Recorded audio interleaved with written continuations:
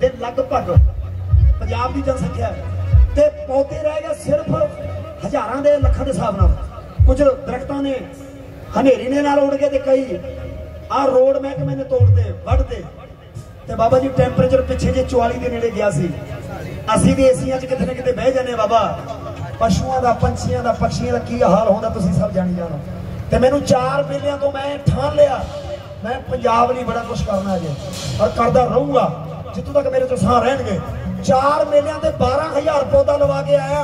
ਕਿ ਅੱਜ ਮੈਨੂੰ ਇੱਕ ਵਾਰੀ ਕਹਿ ਦਿਓ 20 20 ਰੁਪਏ ਦਾ ਪੌਦਾ ਲੈ ਕੇ ਇਸ ਮੇਲੇ ਦਾ ਨਾਂ ਦਾ ਕੱਲ ਨੂੰ ਤੁਸੀਂ ਸਾਰਿਆਂ ਇੱਕ ਇੱਕ ਪੌਦਾ ਲਾਉਣਾ, ਤੁਹਾਡੀ ਬੜੀ ਮਿਹਰਬਾਨੀ ਹੋਊਗੀ ਜੇ ਤੁਸੀਂ ਖਵਾਜਾ ਸਾਹਿਬ ਨੂੰ ਪਿਆਰ ਕਰਦੇ ਹੋ, ਤੁਹਾਨੂੰ ਕਸਮ ਹੋਊਗੀ ਆਪਣੇ ਆਪਣੇ ਗੁਰੂ ਪਿਤਾ ਦੀ। ਇੱਕ ਇੱਕ 20 20 ਦਾ ਪੌਦਾ ਆਉਣਾ ਹੈ। ਇਸ ਮੇਲੇ ਦੇ ਪੌਦਾ ਜ਼ਰੂਰ ਲਾਇਓ ਤਾਂ ਕਿ ਆਉਣ ਵਾਲੇ ਟਾਈਮ ਦੇ ਵਿੱਚ ਟੈਂਪਰੇਚਰ 30 ਲੈ ਕੇ ਆਈ ਅਸੀਂ 30 ਸਾਰੇ ਸੁਖੀ ਹੋਣ। ਬੜੀ ਮਿਹਰਬਾਨੀ। ਮੈਂ ਤਾਂ ਪਹਿਲੇ ਵੀ ਕਿਹਾ ਸੀ ਵੀ ਮੇਰੀ ਪੇਮੈਂਟ ਚੋਂ ਮੈਨੂੰ ਪੈਸੇ ਘੱਟ ਦੇ ਦਿਓ, ਪਰ ਪੌਦੇ ਜ਼ਰੂਰ ਲਾਇਓ ਯਾਰ, ਬੜੀ ਮਿਹਰਬਾਨੀ ਤੁਹਾਡੀ। ਪੌਦਿਆਂ ਦੀ ਬੜੀ ਲੋੜ ਹੈ ਪੰਜਾਬ ਨੂੰ, ਹਾਂਜੀ। ਲਾਇਆ ਸੀ ਲੰਗਰ? ਹਾਂ। ਕਿੰਨੇ ਕ ਵੰਡੇ ਜੀ? ਡੇਢ 200 ਨਾਲ ਕਿੱਥੇ ਗੱਲ ਬਣਦੀ? ਮੈਂ ਤੇ ਹਜ਼ਾਰਾਂ ਦੀ ਗੱਲ ਕਰਦਾ, ਹਜ਼ਾਰਾਂ ਜੇ ਸੰਖਿਆ 'ਚ ਖੜੇ ਆਓ, ਪਿੱਛੇ ਤੱਕ ਬੋੜ ਤੱਕ।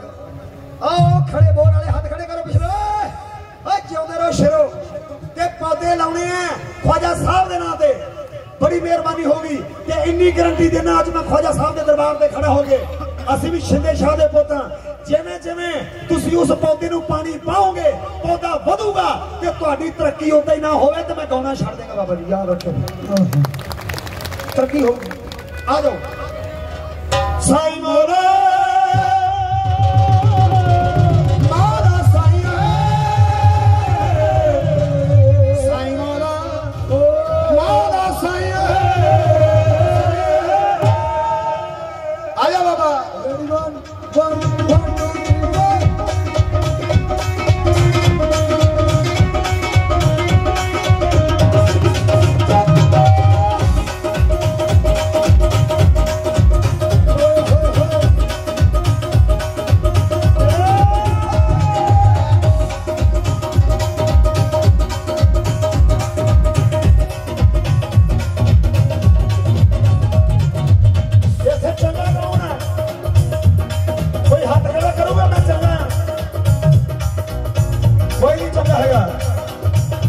ਕੋਈ। ਨਾ ਕੋਈ ਹਰ ਗੁਣ ਵੀ ਬੰਦੇ ਚ ਤੇ ਕਮੀ ਵੀ ਕੋਈ ਜ਼ਰੂਰ ਹੈ। ਚੰਗਾ ਇੱਕੋ ਹੀ ਹੈ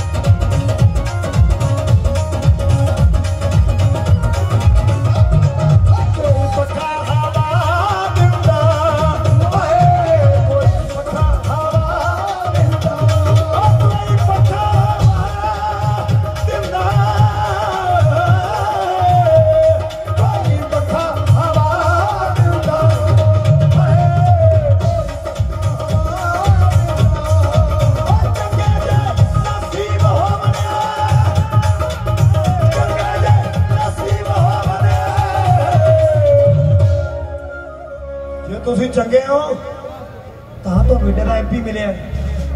ਬਾਬਾ ਨੂੰ ਕਢਾਈ ਚੰਗੇ ਜੇ ਨਸੀਬ ਹੋਵਣ, ਨਹੀਂ ਤਾਂ ਠੱਗਾਂ ਦੀ ਘਾਟ ਥੋੜੀ ਜਿਹੀ ਪੰਜਾਬ ਚੰਗਾ ਸੱਜਣ ਤਾਂ ਹੀ ਮਿਲਦਾ।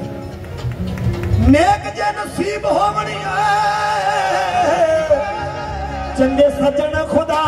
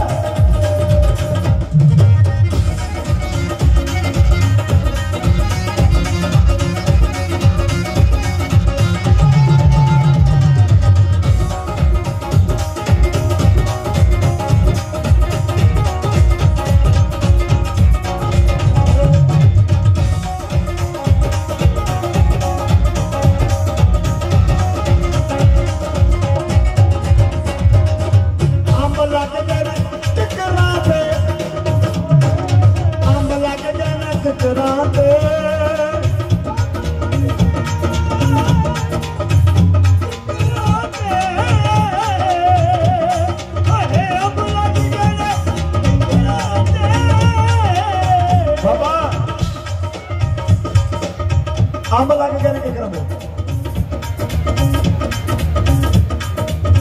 ਕਿਵੇਂ ਲੱਗ ਗਏ ਅੰਬ ਕਿਚਨਾਂ ਦੇ ਆ ਤੇਰੇ ਹੈ ਸਾਰਾ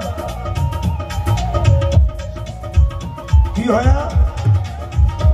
ਗੱਲ ਯਾਦ ਆ ਗਈ। ਧੰਨ ਧੰਨ ਬਾਬਾ ਈਸ਼ਵਰ ਸਿੰਘ ਜੀ ਮਹਾਰਾਜ ਰਾਣਾ ਸਾਹਿਬ ਵਾਲੇ। ਧੰਨ ਧੰਨ ਬਾਬਾ ਈਸ਼ਵਰ ਸਿੰਘ ਜੀ ਮਹਾਰਾਜ ਰਾਣਾ ਸਾਹਿਬ ਵਾਲੇ।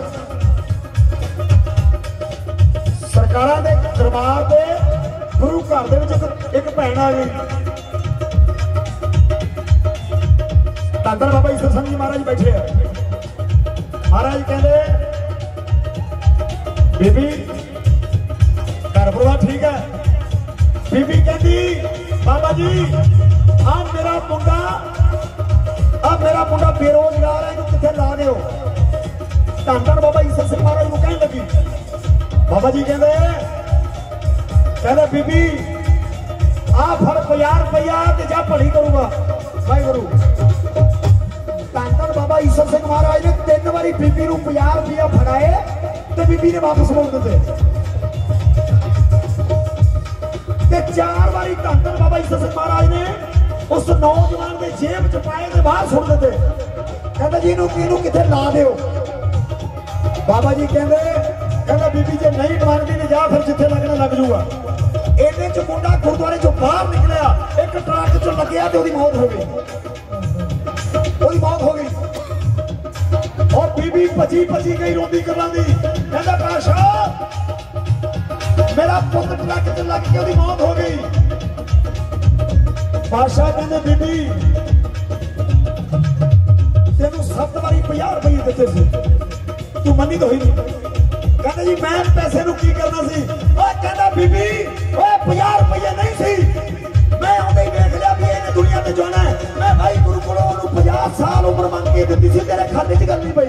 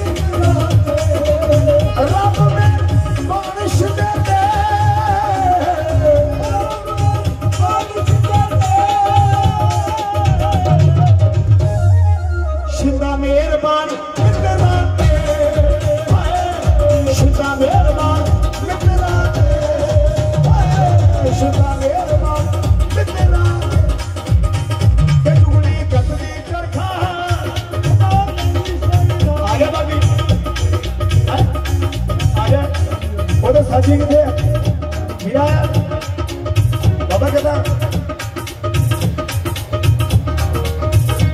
ਗਵਈਆ ਤੇ ਹੋਆ ਯਾਰ, ਅਸੀਂ ਕਾਹਦੇ ਗਵਈਏ ਗਵਈਆ ਤੇ ਹੋਣਾ ਹੈ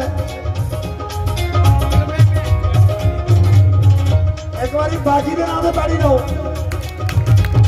ਰੌਲਾ ਇਹ ਹੈ, ਜਿਹੜਾ ਪਹਿਲੇ ਗਾ ਕੇ ਗਿਆ, ਉਹ ਵੀ ਛਿੰਦੇ ਦਾ ਪੁੱਤ, ਜਿਹੜਾ ਹੁਣ ਗਾ ਰਿਹਾ ਹੈ, ਉਹ ਦਾ ਪੁੱਤ ਕਿ ਜਿਹਨੇ ਅੱਗੇ ਗਾਉਣਾ ਹੈ, ਉਹ ਵੀ ਛਿੰਦੇ ਦਾ ਪੁੱਤ। ਮੇਲਾ ਦੇ ਮੇਰੇ ਛਿੰਦੇ ਦੇ ਪੁੱਤ ਆ ਗਿਆ ਕਰ ਤੁਹਾਡਾ। ਤੇ ਮੇਲਾ ਪਾਸ ਹੈਗਾ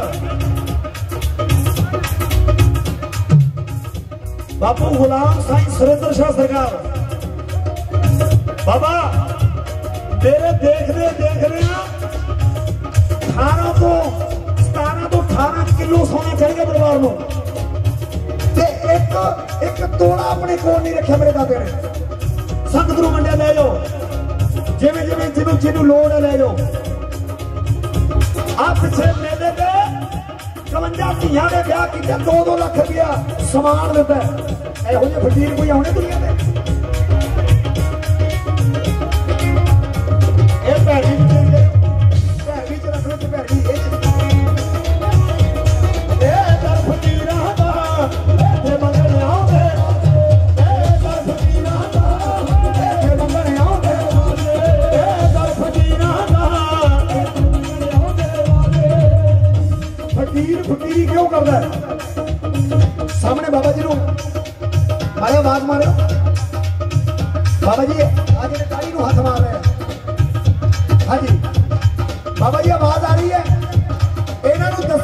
ਦੱਸਣ ਫਕੀਰ ਫਕੀਰੀ ਕਰਦਾ ਕਿਉਂ ਹੈ? ਨਾ ਫਕੀਰ ਦਾ ਫਕੀਰੀ ਕਰਨਾ ਸ਼ੌਕ ਹੈ ਤੇ ਨਾ ਫਕੀਰ ਦੀ ਮਜਬੂਰੀ ਹੈ। ਫਕੀਰੀ ਕਿਉਂ ਫਕੀਰੀ ਕਰਦਾ ਸੁਣਿਓ? ਦੁਨੀਆ ਜਿੱਤ ਕੇ ਬੈਠੇ ਜਿਹੜੇ ਦੁਨੀਆ ਜਿੱਤ ਕੇ ਬੈਠੇ ਜਿਹੜੇ ਉਹਨਾਂ ਕੋਲ ਨਹੀਂ ਹਾਰਨ ਨੂੰ ਆ ਫਕਰ ਕਰਨ ਫਕੀਰੀ ਦੁਨੀਆ ਆ ਫਕਰ ਕਰਨ ਫਕੀਰੀ ਦੁਨੀਆ ਨੂੰ ਫਕਰ ਕਰਨ ਫਕੀਰੀ